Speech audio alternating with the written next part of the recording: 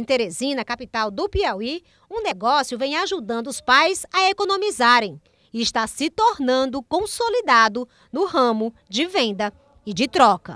Trabalhando com mapas, geografia. Livro barato, 80% de diferença da loja. Socorro está na Feira do Livro Usado desde o seu início há 22 anos. Começou na Praça do Liceu. A gente colocava ainda os livros no chão. Quando chovia, corria todo mundo, colocava plástico. O pico do comércio aqui vai de dezembro a maio. Para garantir um bom acervo e atualizado, é preciso que durante todo o ano haja a compra de livros por parte dos feirantes. É o ano todo, tem algumas pessoas que ficam aqui, mesmo sem um estande, ficam aqui negociando, comprando, né, das pessoas que vêm vender.